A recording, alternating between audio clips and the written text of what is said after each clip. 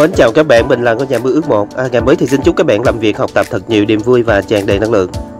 Giờ đây nếu nhắc về trần thạch cao đã là một cái vật liệu rất là quen thuộc của các bà con mình à, vì đi đâu mình cũng à, bắt gặp à, bà con mình à, xây nhà à, hoàn thiện à, bằng trần thạch cao hết. À, có thể nói à, trần thạch cao là một cái vật liệu à, quốc dân luôn phải không các bạn? Làm sao để à, xây nhà sao cho nó tiết kiệm nhất? À, đây cũng chính là một cái vấn đề mà mọi người rất là quan tâm phải không các bạn? À, từng cái công tác hoàn thiện tại công trình à, mình tiết kiệm đi một chút à, giúp giảm à, tổng cái chi phí à, xây dựng cái ngôi nhà mình xuống. À, và mình à, chia sẻ đến là mọi người cái à, cách à, lựa chọn các phương án trần thạch cao sao cho cho cho nó tiết kiệm nhất vì những cái ưu điểm mà trần thạch cao mang lại à, như là nó à, tạo cho ngôi nhà mình tăng tính thẩm mỹ à, mát mẻ hơn rất là dễ à, tạo hình à, trang trí à, tạo à, điểm nhấn. À, lựa chọn trần thạch cao à, để trang trí ngôi nhà của mình à, sẽ không làm cho mọi người thất vọng. À, tuy nhiên một cái vấn đề được à, đặt ra à, là mọi người rất là thường hay hỏi mình à, là anh ơi làm như thế nào để à, hoàn chỉnh à, cái tấm trần thạch cao à, nhưng với một cái à, chi phí rẻ nhất? Hiện nay khi lựa chọn trang trí nhà bằng trần thạch cao thì có hai cái phương án để mình lựa chọn. Phương án thứ nhất là trần thạch cao phẳng và phương án thứ nhì là trần thạch cao vượt cấp. À, tuy nhiên lựa chọn cái à, phương án nào để cho nó à, rẻ tiền à, có thể đó là một cái vấn đề được rất nhiều à, mọi người quan tâm. À, và mình sẽ đưa ra một cái à, bài toán mình để tính nha các bạn.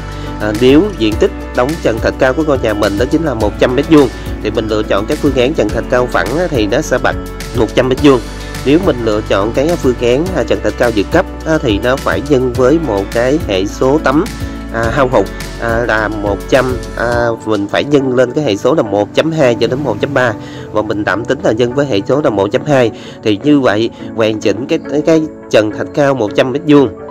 Với trần thạch cao dự cấp á, thì nó sẽ ra là 120 mét vuông và hiện nay với trần thạch cao thì nó sẽ dao động từ 135.000 trở lên một mét vuông.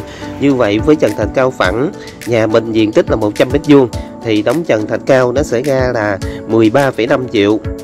Nhưng với à, trần thạch cao à, dự cấp á, thì nó phải nhân lên với hệ số là 1.2 như vậy là tổng cái à, diện tích của trần thạch cao à, dự cấp lúc này là 120 mét vuông đó là cái phần trên lệch giữa trần thạch cao phẳng và trần thạch cao dự cấp là 20 mét vuông nha các bạn. À, như vậy à, lựa chọn cái phương án trần thạch cao phẳng thì bao giờ nó cũng sẽ rẻ tiền hơn là so với trần thạch cao dự cấp.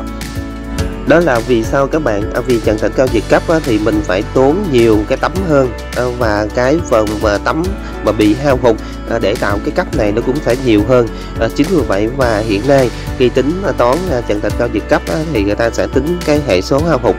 Đó chính là lý do vì sao mà trần thạch cao phẳng lại tiết kiệm hơn là trần thạch cao vượt cấp. Tuy nhiên, lựa chọn cái phương án trận trần thạch cao phẳng hay trần thạch cao dự cấp thì nó còn tùy thuộc vào cái nhu cầu cũng giống như là cái sở thích của gia chủ tuy nhiên à, à, mình có thể ha, là tại những cái vị trí cần thiết để tạo điểm nhấn á, thì mình sẽ chọn cái phương án là trần thạch cao dự cấp. Còn những cái à, à, phần à, công năng bên trong á, thì mình có thể lựa chọn cái à, phương án trần thạch cao phẳng để giúp cho cái ngôi nhà mình nó trở nên à, tiết kiệm ở cái à, công tác trần thạch cao hơn. Tuy nhiên trần thạch cao phẳng nó rất là phù hợp với à, phong cách à, nhà hiện đại à, đơn giản tinh tế trẻ trung. Thì mình lựa chọn cái phương án trần thạch cao phẳng này nó rất là hợp lý. À, tuy nhiên với những cái phương án à, nhà mái thái hoặc là nhà nhà, nhà biệt thự sân vườn à, hoặc là nhà máy nhật à, thì mình à, lựa chọn cái à, phương án à, trần thạch cao à, ở vượt cấp thì nó sẽ hợp lý hơn. À, có thể nói là hai cái phương án này phương án nào nó cũng có một cái à, ưu điểm và một cái thế mạnh hơn à, riêng hết.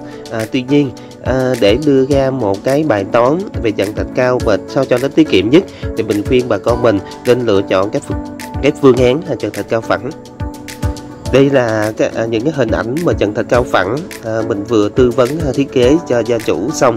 À, mời các bạn xem cái vẻ đẹp à, hiện đại tinh tế của trần thạch cao phẳng. Và đây là à, những cái mẫu trần thạch cao vượt cấp. À, và mình cũng đã tư vấn và thiết kế cho à, gia chủ à, trang trí nhà. À, mời các bạn à, xem qua những cái à, hình ảnh của trần thạch cao vượt cấp như vậy là vừa mình vừa cùng các bạn à, trải qua à, phân tích à, ưu nhược điểm à, và cái cách mà chọn các phương án trần thạch cao sao cho nó tiết kiệm nhất.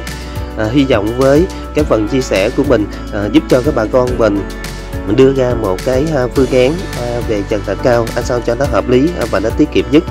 Và video của mình đến đây là xin kết thúc. À, bây giờ xin nói là chào tạm biệt và hẹn gặp lại các bạn ở những cái video lần sau.